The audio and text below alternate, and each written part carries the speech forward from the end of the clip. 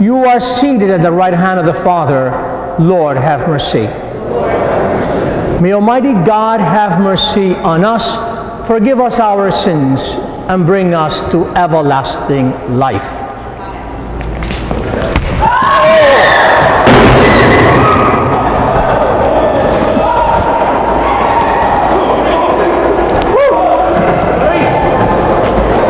My balloon.